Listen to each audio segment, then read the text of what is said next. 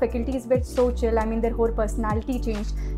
Hello everyone, my name is Sakshi Shakya and I cleared CA Inter May 2024.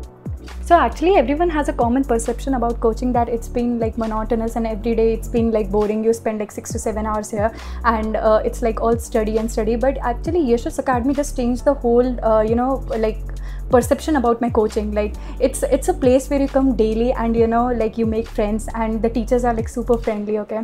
It's not like always like they will just uh, teach you and teach you. You will they will just uh, motivate you throughout your whole journey. You will make friends and uh, the teachers you know they are your best friends actually at some point of time. Even after the class the faculties were so chill. I mean their whole personality changed. Like in the class they were all serious and everything but after the class like we were all chilling. I mean uh, especially uh, Nimit sir Saurabh sir like they were you know the coolest teacher which I met and also hands down to like all the faculties. They were like very good